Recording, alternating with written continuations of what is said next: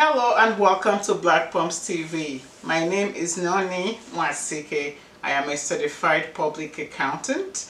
Uh, today I really want to talk to you about the uh, stimulus package called the CARES Act, which actually stands for Coronavirus Aid, Relief and Economic Security. In short, it's called CARES Act, right? Perfect name for it. But before we go into this, and it's actually about 800 pages and I'm going to just do snippets of it that I think it's going to be useful to you. Uh, but before we do this, two things that I need to get out of the way. The first one is I hope you're staying home and staying safe and keeping fit. It's really essential so that we can beat this COVID-19. And the second thing is to wish my handsome nephew, Simdi Mwabweze, a happy fifth birthday. Happy birthday, Simdi. I love you, baby. So, now that we've gotten that out of the way, so the first ones that I, I really want to talk about is talk about the individual provisions, right? So the first one is the unemployment uh, benefit. If you're followed or you're laid off or you lost your job for any reason, please go and file your unemployment insurance claim go to your EDD office and file that.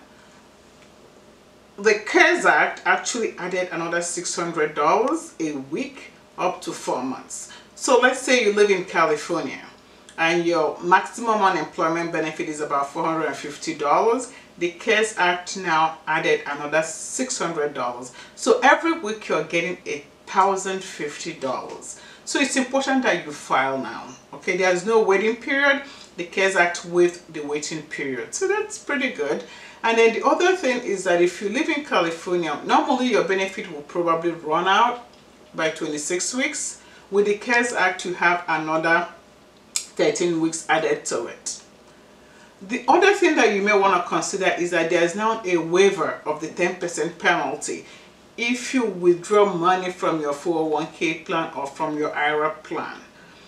So if you withdraw that, the 10% penalty is no longer charged to you up to a 100,000 and you can actually pay off the loan in three years. If you don't pay off the loan in three years, then there will be tax on it. So I'll give you an example. If you borrow $25,000 today, there's no 10% penalty and you do not pay tax on that. But now you have from 2020 to 2023 to pay off that loan, right? If you pay off that loan back to yourself, because you're paying it back to your account, then there's no tax on it and there's no penalty. That's really huge. And you can borrow up to a $100,000. Then the final one is the rebates. We've all heard about these rebates, right? So it's $1,200 per person. So if you're married filing jointly, you have 2400 If you're single, it's 1200 However, there's a phasing for that amount. So there's a 5% phasing when you reach a certain income level. For singles, it's about 75,000. Head of household is 122,500 and married filing jointly it's about $150,000. And this is based on either your 2019 tax return or your 2018 tax return, whichever one you have filed. And it's a rebate. So it means that 2020, if your income is significantly higher, you may find yourself paying back some of that amount. But let's cross that bridge when we get there. So also you'll be getting $500 per each qualifying child. So it's not just your 1200 you're getting 500 um, for each child. Right now you wait for your check that coming. Um, so we've talked about, these are the three key things. There are other, so many other provisions, but these are the key three things I thought I talk about. Now let's move over to the loans. That's the fun part, okay? So the CARES Act actually has about three loans, but I'll talk about only two of them. The reason I'm talking about only two of them is that the third one, it's kind of meant for like middle size to big organizations and honestly I know they all have tax people they all have lawyers working on it so I'm not going to waste my time on that so let's go back to the first one It's called Paycheck Protection Program. And it's open to businesses, individuals who are self-employed and independent contractors. So if you have a small business and you have payroll, you have five employees, you qualify. If you're self-employed and you don't have payroll, it's just you, you're the sole proprietor, you qualify. If you work as an independent contractor where they give you 1099 miscellaneous, you qualify. And to do the application, you're actually going to apply through your banks. Why do we want you to do this loan? This loan is actually based on two and a half times your monthly salary or your monthly income. So let's say you make $10,000 every month. So your average, it's $10,000. If you multiply that by 2.5, you're getting to 25,000. The bank can now give you $25,000. Here's the sweetness.